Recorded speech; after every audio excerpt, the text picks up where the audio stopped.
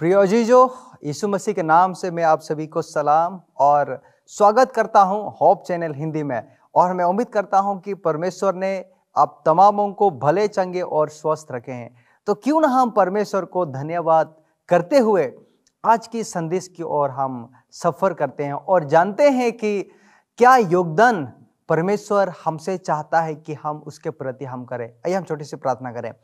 स्वर्गीय महान पिता, ईश्वर, हम आपको धन्यवाद देते हैं कि सुंदर समय ने अपने हमारे जीवन में फिर से जोड़ा है कि ताकि हम आपसे जोड़ सके, आपसे हम साथ मिलके इस संसार में उस काम को पूरा कर सके, जो काम आप हमसे करना चाहते हैं। इस छोटी सी प्रार्थना को यीशु मसीह के नाम से मांगते हैं। आमेन। प्रिय अजीजो, जो कि हम इस योगदान के सफ़र में हम चल रहे हैं और देख रहे हैं कि परमेश्वर ने हमें इसलिए चुना ताकि इस संसार की बदलावट का एक हिस्सा भी हम बन सके। और यही नहीं कि हम स्वर्ग का एक नागरिक होने के साथ साथ हम परमेश्वर के पुत्र और पुत्रियाँ हम कहलाने वाले हो सके। आज जो वचन मैं आपके सामने में, मैं पेश करना चाहता हूँ, वो है, आज हम देखेंगे यहुना का किताब। उसका तीन में से, उसका तीस को आज मैं आपके सामने में, मैं पेश करना चाहूँगा। यहुना उसका तीन और उसका तीस में। ऐसा लिखा गया है, अवश्य है कि वह बढ़े और मैं घटू।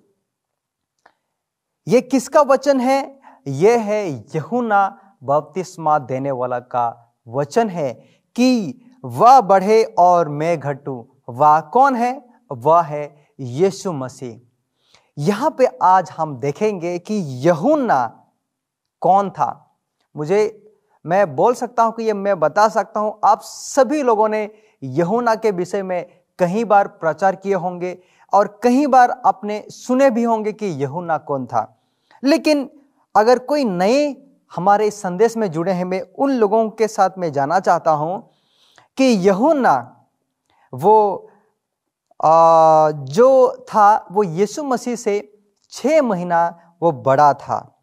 यीशु मसीह और यहुना के बीच में छः महीना का अंतर हुआ, क्या करता है? यह छः महीना का अंतर है यहाँ पे। और यहुना का जो पिता है, वो है यकारिया। यह हम पाते हैं मैथ्यू, मार्क, लुक, आप कोई भी सुसमाचार आप पढ़िए, आपको पहली और दूसरी यहाँ पे आपको दिख जाएगा कि यहुना बपतिस्मा दाता के बारे में। तो यहुना कौन था? वो एक परमेश्वर से एक चुना हुआ एक व्यक्ति था। और परमेश्वर ने उन्हें खास तौर पे चुना था कि परमेश्वर का काम को वो पूरा कर सके। या परमेश्वर ने जो इसको काम सौंपा है, वो बखूबी तरीके से वो उसको पूरा कर सके। ये जो मैंने बताया कि ये यहुना बपतिस्मा देने वाला। ये जो उसका पिता है, उसका नाम है यकारिया। और उसका जो माता है, वो है एलिशिबा। यकारिया जकारिया और एलिशिबा का ये पुत्र था। तो इन दोनों ने काफ़ी साल बूढ़े हो गए थे। उनका जो समय था, बहुत जा चुका था। तो इन दोनों का यही प्रार्थना था कि हमें एक कोई संतान मिले। उनका ये दुआ थी, ये प्रार्थना थी। और ये जो जकारिया था, वो एक याजक था जो लुका का किताब एक का पाँच में हम यहाँ पे देख सकते हैं कि ये यहुन्ना का पिता, वो एक याजक था। और वो परमेश्वर के सामने धर्मी व्यक्ति था। ये दोनों लोग ही धर्मी व्यक्ति थे। और प्रभु की सारी आज्ञाएँ, उनके विधियाएँ, ये लोग पालन करते थे। और निर्दोष चलने वाले भी ये दोनों थे। आज इससे हम ये जान सकते हैं कि जो परमेश्वर के जो लोग हो, होना चाहिए या परमेश्वर के जो लोग हैं, उनका जीवन कैसा होना चाहिए? उनका जीवन धर्मी होना चाहिए?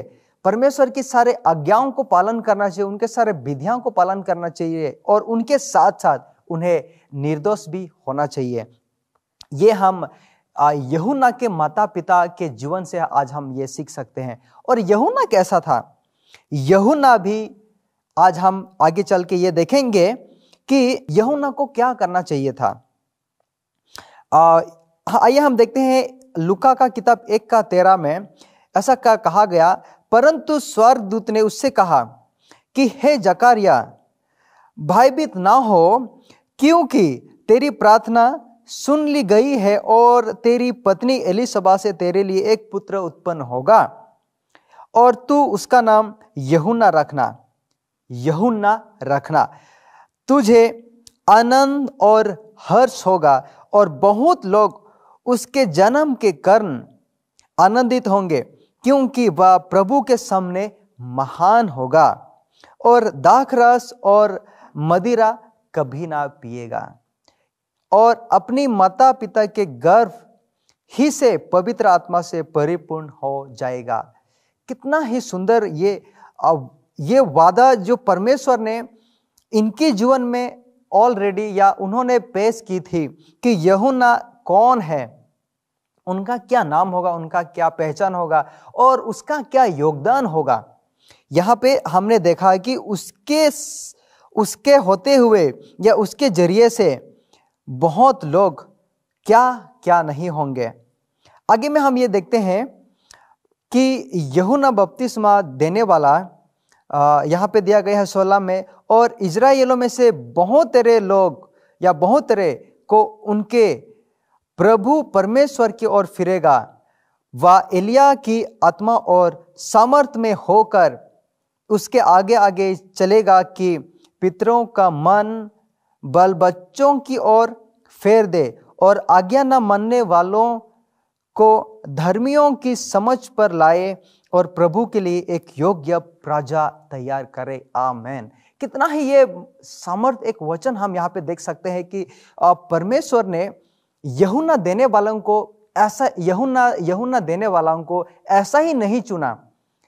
परमेश्वर ने उनको इसलिए चुना कि परमेश्वर का जो एक खास मकसद है उसको पूरा यहुना के द्वारा हो। और आगे हम ये देखते हैं जैसा कि आज हमने आज का जो मेन मुख्य पाठ हमने पढ़ा कि वह बढ़े और मैं घटूं।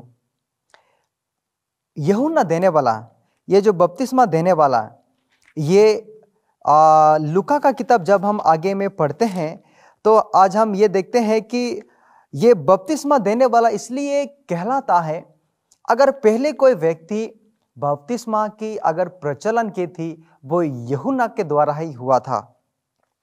तो लुका का किताब आ, ये तीन में जब हम देखते हैं कि यहाँ पे ऐसा लिखा गया है कि तिबिरियस कैसर के राज्य के पंद्रहवें वर्ष में जब पेंत्यूस प्लस यहूदा का हकीम था और गलील में हेरोदस और यहाँ पे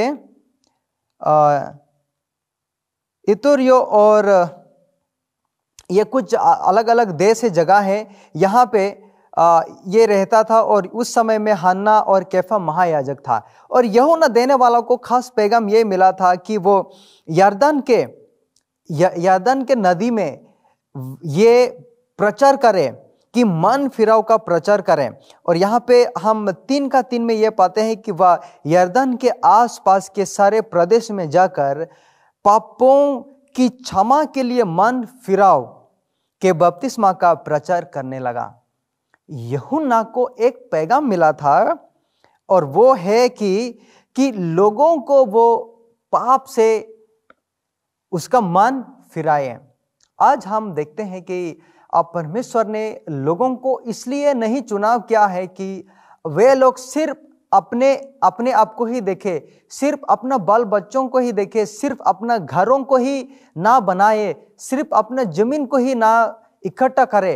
उसका खास मकसद ये है कि जो परमेश्वर से चुनाव किए जाते हैं लोग, वो लोग उद्धार की संदेश को लोगों तक पहुँचा सके। और ये संदेश से हम ये जान सकते हैं कि यहूना को सिर्फ़ और सिर्फ़ एक ही काम दिया गया था। और आगे चल के हम ये देखते हैं कि यहुना देने वाला यहुना बपतिस्मा देने वाला, उसका क्या भोजन था? उसको कौन सी भोजन खाने की आज्ञा मिल गई थी? आप मेरे साथ निकल सकते हैं। मती के किताब तीन का चार में यहाँ पे दिया गया है कि वह यहुना ऊँट के रोम का वस्त्र वस्त्र पहना था और अपनी कमर में चमड़े का कटिबंध बंधे हुए था। उसका जो पहनना था, वो ऊँट का स्किन जो हम रोम बोलते हैं, उसका वस्त्र वो पहनता था। और उसका जो भोजन था, वो यहाँ पे दिया गया है कि टीडिया और बन मधु था। और जैसे कि हमने पहले सुना था कि यहुन्ना को क्या नहीं खाना चाहिए? जैसे हमने पढ़ा था कि वे कभी भी वो दाख मधु ना ले, कभी भी अपने जीवन में वो ना ले, क्योंकि इससे एक इंसान अशुद्ध हो जाता है। इनसे एक इंसान का जो जीवन चरित्र होता है, उसमें गड़बनी गड़बड़ी दिखाई देने लगता है। तो यहुन्ना एक व्यक्ति ऐसा ही नहीं था और अपने आप को एक ऐसा व्यक्ति पे या उन्होंने अपने आप को पेश किया कि परमेश्वर का जो पैगाम है, वो मैं पूरा कर सकूँ। ये जो परमेश्वर का संदेश है, मैं लोगों को वैसा ही दूँ जैसा मुझे परमेश्वर से मुझे मिला है, मैं उस संदेश में किसी भी प्रकार का मैं मिलावट ना करूँ। और ये यहुना ये जो हम देखते हैं यहुना का किताब, ये जो सुसमाचार का किताब है, इस पे आप अलग ही एक पहचान देखेंगे। इसमें बहुत ही कठिन कठिन शब्द को दिया गया है। जैसे मैं देखता हूँ कि ये यहुना का किताब, उसका पहले अध्याय, जो हम हर एक हर एक समय इसको हम पढ़ते हैं। आदि में वचन था और वचन, परमेश्वर के साथ था और वचन, परमेश्वर था। ये बात इतना कठिन लगता है कि इसको समझने के लिए हम कभी सोचते हैं कि इसका अर्थ क्या हो सकता है। तो जब हम उत्पत्ति की किताब देखते हैं कि वहाँ पे देख सकते हैं कि ये जो पूरे ब्रह्मांड की रचना परमेश्वर के द्वारा हुई है और यहाँ पे यहुना देने वाला सॉरी यहुना बपतिस्मा देने वाला ये कहता है कि आदि में वचन था। ये जो हम उत्पत्ति में पढ़ते हैं कि आदि आदि में क्या था? आदि में परमेश्वर था, लेकिन वो वचन के तौर पे था। और वचन परमेश्वर के परमेश्वर के साथ था और वचन परमेश्वर था। आइए हम इस बात को थोड़ा आगे चल के समझते हैं कि वचन वचन वचन क्या वचन है। चौदह में यह दिया गया है, एक का चौदह में, और वचन देहधारी हुआ। ये जो आदि में वचन था, वो वचन देहधारी हुआ और अनुग्रह और सच्चाई से परिपूर्ण होकर हमारे बीच में डेरा किया और हमने उसकी ऐसी महिमा देखी जैसी पिता की एक लोते की महिमा। आमेन। ये वचन को, ये जो एक का चौदह को अगर हम वचन को, ये जो देहधारी की बात यहाँ पे की जा रही है, वो वचन जो देहधारी वो वो कौन है? वो यीशु मसीह है। अगर हम इस यीशु मसीह वचन के जगह में हम इस्तेमाल करते हैं तो हम यहुना का एक का एक को ऐसा हम पढ़ सकते हैं कि आदि में यीशु मसीह था और यीशु मसीह परमेश्वर के साथ था और यीशु मसीह परमेश्वर था। तो यहुना बपतिस्मा देने वाला हमारी उस प्रश्नों का, उन सारे सवालों का जवाब हमें साफ़ देता है कि ये पूरे ब्रह्मांड की सृष्टि करने वाला वो और कोई नहीं है, सिर्फ़ और सिर्फ़ यीशु मसीह है। आज इस संसार में, इस दुनिया में बहुत लोगों के पास अलग अलग अलग अलग एक कहानी है। कोई बोलते हैं कि ये जो दुनिया संसार है, वो किसी के द्वारा सृष्टि की गई है। कोई लोग किस अपना अपना एक प्रथा है, अपना एक चलती एक कहानी होते हैं जो हर एक लोगों को बताते हैं। लेकिन हम किसी भी बातों में हम विश्वास नहीं करते हैं, लेकिन हम ये विश्वास करते हैं कि ये पूरी दुनिया की बनवाट, इसका जो रचना है, इसकी जो कायनात का जो नींव है, ये सिर्फ़ और सिर्फ़ यीशु मसीह के द्वारा ही सृष्टि की गई है। और इस यीशु मसीह के सामने में यहुना अपने आप को कैसा पेश किया, जो आज हमने पढ़ा तीन का तीस तीस में कि कि अवश्य है कि वह बढ़े और मैं घटू। कौन बढ़े? जो वचन है, जो सृष्टि करने वाला है, जो इस पूरी दुनिया की बनवाट की है, वो बढ़े और मैं घटू।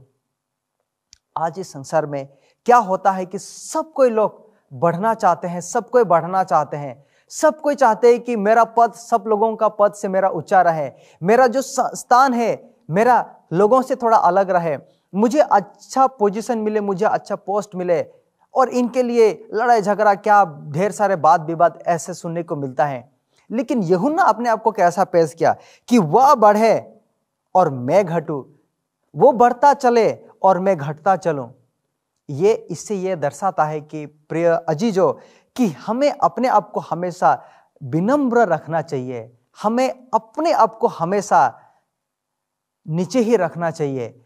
वचन कहता है कि जो अपने आप को ऊँचा ऊपर उठाए, उसको नीचे किया जाएगा। तो इससे हम ये देख सकते हैं कि जब हम परमेश्वर के काम को और जब हम करते हैं तो हमें विनम्र होकर, अपने आप को नीचा होकर परमेश्वर की सेवकाई करें। तो क्या यहुना ने इस जो बात कहा कि वह बढ़े और मैं घटू, यानी कि यीशु मसीह बढ़े और मैं घटू? मैं कौन हूँ भला कि मैं बढ़ूं और वो घटे? इससे हमें यह समझ मिलता है कि यहुना जो यहुना बपतिस्मा देने वाला, वो एक एक, अपने आप को इस संसार में इसलिए पेश किया कि, ताकि वो लोगों को बता सके कि मैं जो हूँ, मैं कुछ नहीं हूँ, मेरे पास कुछ अधिकार नहीं है, मुझे तो बस एक छोटी सी काम मिला है और उस काम को मैं, उस उस काम को मुझे पूरा करना चाहिए, उस काम को मुझे निभाना चाहिए, क्योंकि मेरे पीछे जो आने वाला है मैं तो उस उसके जूते का जो आ, उस जूते को खोलने का मैं तो योग्य ही नहीं हूँ। तो मैं कौन हूँ और वो कौन है? मेरे बातों को ना सुने लेकिन उनके बातों को ज़रूर सुने। उसके बातों को नजरअंदाज ना करें। तो आज हम परमेश्वर से इसलिए चुने गए हैं ताकि हम परमेश्वर के वचन को खुद भी सुने और लोगों को भी बताएँ। ऐसा ना हो कि हम सिर्फ़ मनुष्यों का जो इंसान में जो इस संसार में बड़े बड़े पद के लोग हैं, ये जो ज्ञानी ज्ञानी लोग हैं, सिर्फ़ उनके बातों को ही हम लोगों को बताएँ। परंतु हम यीशु मसीह के उस पैगाम को हम लोगों को हम बता सकें।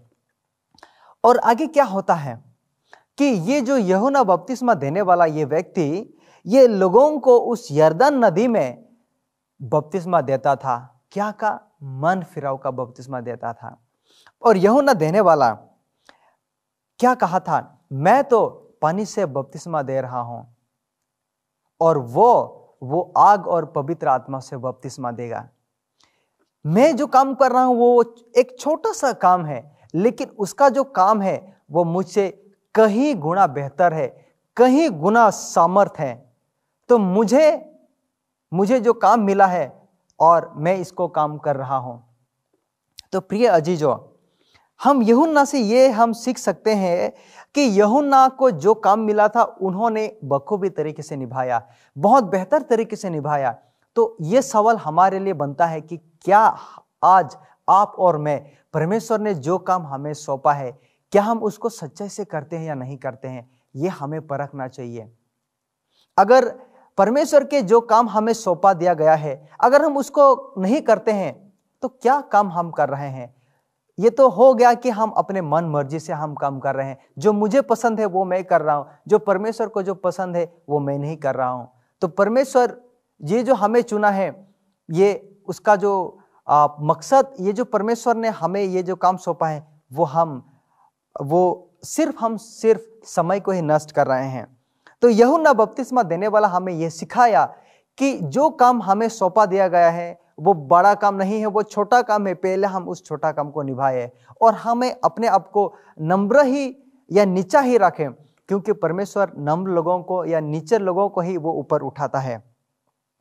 और ये यहुना बपतिस्मा देने वाला का खान पीन जिस तरीके से उसको दिया गया था, उन्होंने वैसा ही उस समय तक उन्होंने खान पान किया, जो दक मधु और जो टिडिया जो बन मधु उनको दिया उनको जो कहा गया था, उन्होंने सिर्फ़ और सिर्फ़ उसका ही उपयोग किया। तो आज हमें संसार में, हमें, हमारे सेहत को देखभाल करने के लिए जो अच्छी वस्तु, अच्छी भोजन हमें कहा गया है, उस पर हम भी ध्यान रखें। ऐसा ना हो कि हमारा हमारा खान पान के वजह से हमारा शरीर में नुकसान पहुँचे और हम परमेश्वर को, काम को आगे बढ़ाने में हमें कमज़ोर महसूस हो और हमें एक, और हमें ऐसा लगे कि हम परमेश्वर के काम को नहीं कर पाएँगे। इसलिए परमेश्वर ने हमें ज्ञान बुद्धि इसलिए दिया कि हम अपनी सेहत का देखभाल कर सके और उसके काम में हम आगे बढ़ सके। तो ये यहूना देने वाला सॉरी यहूना बपतिस्मा देने वाला हमें बार बार याद दिलाया है कि कि परमेश्वर ने भले ही यीशु मसीह यीशु मसीह से वो छह महीना बड़ा था। यहुना बपतिस्मा देने वाला यीशु मसीह से छह महीना बड़ा था। लेकिन उसने क्या किया? क्या कहा? वो बड़े, वो बड़ा और मैं छोटा, या वो बढ़े और मैं घटू। तो आज हम किससे, किसका उम्र कितना है, किसका उम्र छोटा है, बड़ा है, हम उस तौर से नहीं देखे। हम ये देखे कि परमेश्वर ने हमें किस लिए चुना है? क्योंकि हमारा हमारा काम से ही, हमारा अच्छे योगदान से ही हमें, हम पहचाने जानेंगे। तो आज आपका योगदान क्या है कलिसिया के प्रति? आप कलिसिया में किस सोच से आप काम कर रहे हैं? आप, आपको जो परमेश्वर ने काम को सौंपा है, आप किस नज़रिया से इस काम को देखते हैं? बड़े तौर पे देख रहे हैं या अपने आप को छोटा या नम्रा करके आप इसको देख रहे हैं? और ये हमें बहुत ही समझना चाहिए। आप प्रिय अजीजो और मैं उम्मीद करता हूँ कि ये वचन आपके लिए और हम सबके लिए एक आशीष का कारण ज़रूर हो पाएगा। मैं आप तमामों का धन्यवाद देना चाहूँगा कि सबर के साथ आप लोगों ने इस संदेश को सुना और इस संदेश को आप ज़रूर दूसरों के साथ सजा करें। आइए हम इस वचन को प्रार्थना के साथ हम परमेश्वर के पास आए। हे स्वर्गीय महान पिता परमेश्वर, फिर से हम आपको धन्यवाद देते हैं। इस सुंदर वचन जो आपने हमारे जीवन में पेश किया कि यह बपतिस्मा देने वाला कि जीवन से जो कुछ हमने शिक्षा प्राप्त की, पिता परमेश्वर होने दे कि इसका जो जीवन चरित्र है, हमारे जीवन के लिए एक आत्मिक सफ़र के लिए लाभदायक हो सके और हम दूसरों को बता सके। और ऐसा ही हो पिता परमेश्वर कि हम हर एक समय अपने आप को, अपने आप को हम घटाते चले जाए और हम आपको बढ़ाते रहें। आप बढ़े और हम घटे पिता परमेश्वर। और आप हमें ऊपर उठाते रहे ताकि हम आपके बगीचे के लिए, आपके आपके इस मिशन के लिए हम एक उपयोग हो सके और इस काम को पूरा कर सके। यीशु मसीह के नाम से इस छोटी सी प्रार्थना को मांगते हैं। स्वर्ग में सुन और ग्रहण कर। आमेन। प्रिय मित्र, ये संदेश को जो आपने सुना, होप चैनल हिंदी के द्वारा आपने सुना, अगर आप पहली बार इस संदेश को देख रहे हैं और इस चैनल में हैं तो प्लीज़ कृपया इसको आप सब्सक्राइब करना ना भूलिएगा, क्योंकि इस होप चैनल हिंदी ऐसा ही वचन आपके सामने में पेश करते रहते हैं। और प्रार्थना करिएगा होप चैनल हिंदी के लिए, ताकि ये होप चैनल हिंदी बहुत तेरे लोगों के लिए एक आशीष का कारण हो सके, और परमेश्वर आप सबों को बहुत आज के आशीष दे। और हाँ अगर आपके पास कुछ भी प्रश्न है तो ये YouTube में कमेंट सेक्शन में जाके अपना प्रश्न लिखना ना भूलिएगा। और हम जल्द ही आपके प्रश्नों का उत्तर हम देंगे। परमेश्वर आपको बहुत ऐद के आशीष दे और आपका दिन शुभ हो। आमेन।